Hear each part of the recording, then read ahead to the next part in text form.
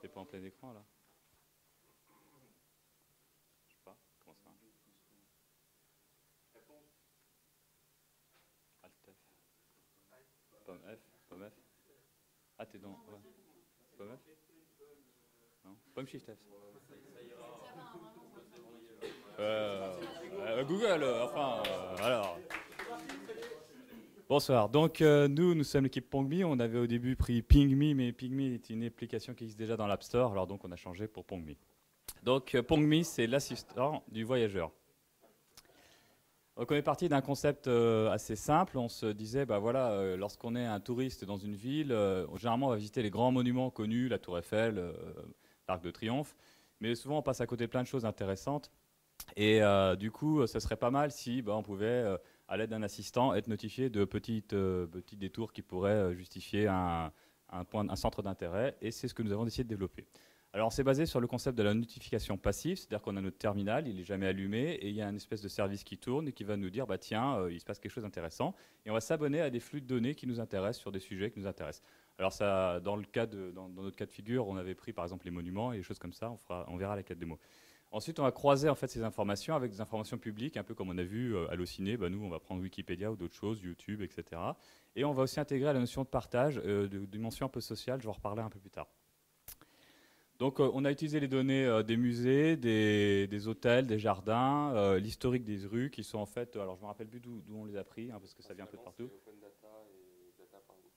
D'accord, voilà. Donc la technologie, en fait, on a fait ce qu'on appelle un service de notification. Euh, techniquement, on a une espèce, de brique sur le téléphone qui en reçoit en fait toutes les notifications auxquelles on s'est abonné et qui dispatche ça à des applications qui voudraient souscrire, dont la nôtre, qui va permettre de notifier l'utilisateur qu'il y a quelque chose d'intéressant à voir. Et on utilise l'agrégation des données avec par exemple Wikipédia et on va aussi utiliser un système de notation pour faire un genre de curation. Parce qu'en fait, on part du principe qu'il y a énormément de données sur toutes ces bases de données euh, qui, sont, euh, qui sont des open data. Et si on alimente trop les gens avec toutes ces données, ça devient un petit peu ingérable. Et euh, utiliser en fait le réseau social pour essayer de curer un peu ces données et avoir un système un peu plus personnalisé qui correspondra à son réseau d'amis, etc., ce serait bien plus intéressant. Un peu aussi comme on a des playlists euh, sur des sites de musique où on s'abonne à des radios thématiques, etc., le concept ce sera un peu la même chose, c'est d'avoir ces flux de données euh, géolocalisés et de pouvoir, euh, bah, par rapport à des centres d'intérêt et aussi son cercle d'amis ou de je ne sais quel réseau social, pouvoir avoir quelque chose qui nous correspond un peu mieux à nos besoins. Sans compter qu'on va pouvoir s'abonner. Donc je vais vous faire une petite démonstration.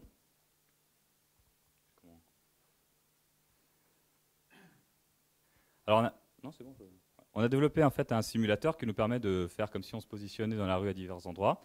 Alors on va dire par exemple je me déplace et automatiquement je reçois une notification. Alors vous l'entendez pas, mais euh, mon téléphone a fait bing et euh, je vais pouvoir aller voir bah, ce qu'on me propose. Alors là il se trouve que c'est une donnée euh, bah, d'un monument, Fontaine et Perron dans, du XVIIIe siècle.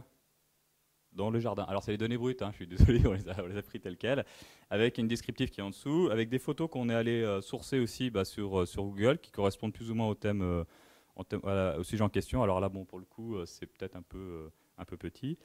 Et puis, euh, bah, éventuellement, des, liens qui seraient en rapport euh, par rapport à ce qu'on peut trouver sur Wikipédia, ou euh, bah, alors on peut aussi, bon, je ne charge pas, mais vous imaginez bien, et on peut aussi regarder, bah, par exemple, sur YouTube, le, chargement, enfin, pour pouvoir, pas YouTube, pardon, Google Maps, pour pouvoir avoir la destination pour y aller. Donc, grosso modo, on va pouvoir aussi, du coup, là, je vais vous montrer un peu qu'on va s'abonner à différents flux de données. Par exemple, moi, j'ai sélectionné les monuments, mais bon, je pourrais avoir les, musées et euh, les. Pourquoi c'est en, en anglais Et les, euh, bah, les, endroits historiques et intéressants.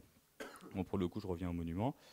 Euh, donc voilà, alors là je me, personnalise un peu ma liste et puis comme ça quand je me promène, bah, si jamais je vais être notifié. Voilà. Alors ce que j'ai pas montré aussi juste un, petit détail, il y a le plus 1 ici de Google qui me permet justement de faire, par rapport à mon, le compte qui est installé sur ce téléphone, de justement nous permettre nous d'agréger sur le serveur, bah, c'est tous ces ensembles de plus 1 qui vont nous permettre d'avoir ce début de, de curation. Voilà. Euh, bah, tiens. Je reviens à la presse. Combien de temps? Impeccable. Ah, alors aussi, oui, euh, un truc intéressant, c'est qu'on s'est, euh, on s'est amusé à utiliser la montre de Sony parce que bon, c'était quand même un sacré défi, puis c'était plutôt rigolo euh, de se lancer dans la- cette espèce de- d'utilisation de montre gadget. Alors ça marche ou pas? On peut faire la démo? Alors je peux essayer. Elle est où la montre? Ah, bah voilà, je viens de me déplacer, c'est passé un truc. Et voilà, donc j'ai été notifié que, euh, et il se trouve que, alors je sais pas si on peut le voir bien, euh, il y a un immeuble monument euh, et la notification a été, il y a, on a reçu la notification à 0 secondes. Bon, alors on peut pas tartiner trop d'infos sur la montre, hein, puis bon, faut reconnaître que ça a été quand même une sacrée partie de, franche rigolade pour pas des choses. Donc voilà, alors on se promène dans la rue et éventuellement, au lieu de sortir son téléphone pour voir ce qu'il y a d'intéressant, euh, on va jouer James Bond et on verra qu'effectivement euh, il y a un monument fortement intéressant ou des distributeurs de capotes pour les personnes intéressées. Je crois qu'il y en a dans la salle.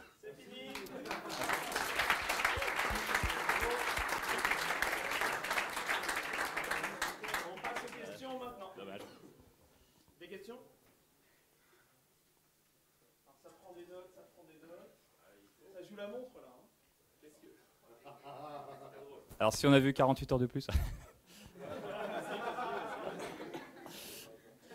Alors oui, en fait, euh, nous on s'était fixé comme objectif de sortir cette application à la fin du, donc de le publier dans le, dans le store à la fin du, du, bah, de ce week-end. Donc on a, on a, Android Market, pardon, désolé, euh, mais euh, oui, Encore des excuses. Euh, mais, euh, et donc, on a vraiment euh, essayé de, limiter le scope fonctionnel pour les 48 heures. Donc, en fait, si on avait 48 heures de plus, on n'aurait pas fait grand-chose. On se serait dit, bah, on aurait 48 heures de plus, on aurait fait un scope fonctionnel ou avec des choses plus évoluées. Mais on s'est dit, voilà, l'objectif, le market. Time to market. Oui, on aurait pu intégrer plus de données parce que c'est vrai que là, on a un jeu de données, euh, on a pas mal travaillé dessus et c'est vrai que bon, bah, plus on intègre de données, plus ça, devient exhaustif, ça devient intéressant pour les gens. Donc là, euh, on, bah, a posteriori, on va probablement bosser pour essayer d'améliorer un peu toutes ces choses-là. Alors, oui, alors actuellement c'est effectivement euh, pleinement fonctionnel, euh, ça, fonctionne. Euh, alors on n'a pas eu l'occasion d'aller le tester dans la rue, donc on utilise le simulateur. oui, alors pour le coup, moi, je, suis assez intéressé de. Enfin bon, là le jeu de données qu'on a, les monuments, bon c'est parfois. Mais moi, en tant qu'utilisateur, moi je suis intéressé de l'utiliser quotidiennement. Enfin j'ai juste problème, hein, donc peut-être pas quotidiennement parce que boulot.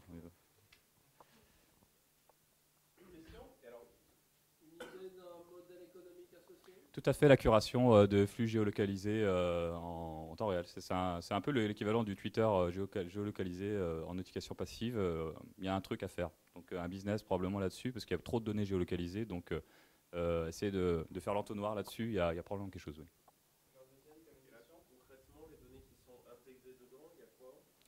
Alors, voilà, c'est ça, y aller. alors, il y a trois catégories sur les quatre. Euh, il y, a, trois catégories sur les quatre. Il y a le musée, hôtel et... Ah pardon. Quelle catégorie nous avons déjà intégré Il y a musée, hôtel. Non, c'est pas jardin, le, troisième. C'est euh, les rues, on les a pas fait. Et le quatrième. Et les arbres. Voilà. Les arbres, les musées et les hôtels.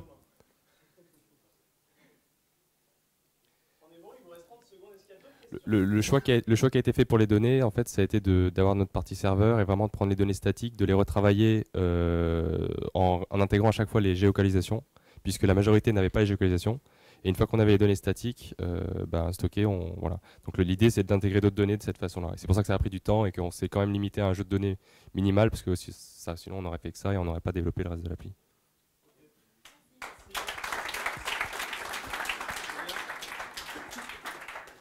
Voilà, on vous laisse euh, redéposer votre terminal et euh, d'aller au stand photo.